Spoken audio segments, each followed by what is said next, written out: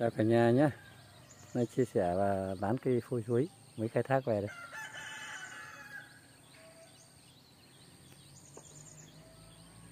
Đây, phôi chuối khai thác tự nhiên cây nó rất già các bạn nhé cao 4 mét.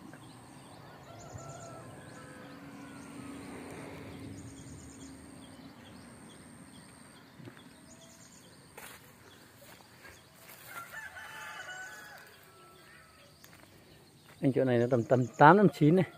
Đo cái chỗ bé cái khe này cái suối này. Cái này cái tử này. À, như này là suối tự nhiên nó ra. Bao nhiêu đời. Đây có cây tử đấy các bạn này. À, để mấy hôm nữa đi. Cái cứ dễ cái thứ vào. Trông già như này. Sạch sẽ các bạn nhé.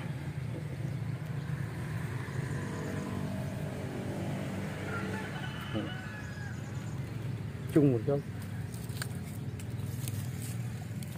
sau này có rất nhiều cây tử đây có cây tử rất to bạn. Đây là một cái tán cái này. Cái này.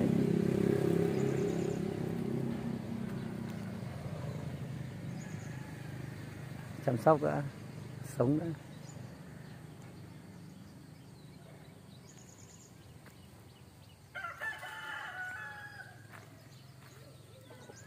Ui. anh nhá, dạ. Này làm kìa. Có con mất bonsai bắt đầu cắt tỉa chăm cho nó khỏe. Khối to cùng. Này, cắt.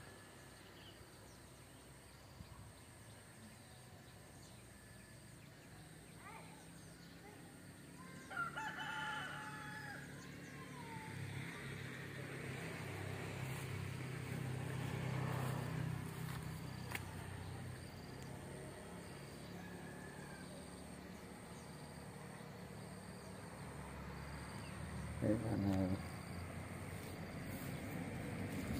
từ dưới là chuyển về đây cũng mất bao nhiêu công sức rồi Đấy.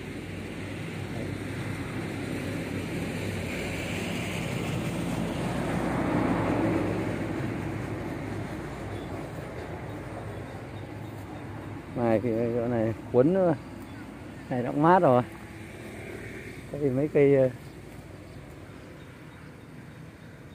hồng à. Ờ.